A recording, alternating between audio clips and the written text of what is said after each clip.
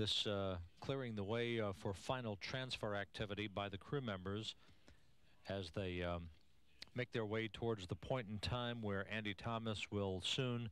be uh, powering up the shuttle's robot arm for the uh, unberthing of the Leonardo cargo module from the Unity connecting node of the International Space Station. Both the station and shuttle crew members uh, closing up uh, the Leonardo module, uh,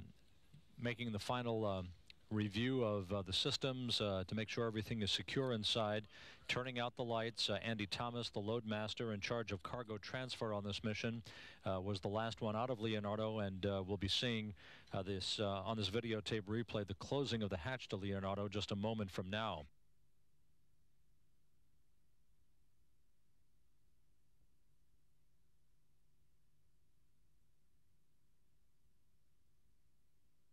Again, this is a videotape replay of a video shot about two and a half hours ago showing Bill Shepherd and Jim Voss closing the hatch on the Leonardo multipurpose logistics module.